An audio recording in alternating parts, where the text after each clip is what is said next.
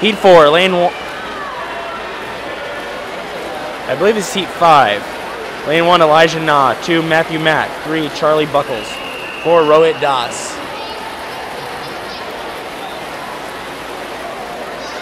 In five is Sammy Rotman. Six is Paul Mullen. Seven, Caleb Chen. Eight, Grady Redding.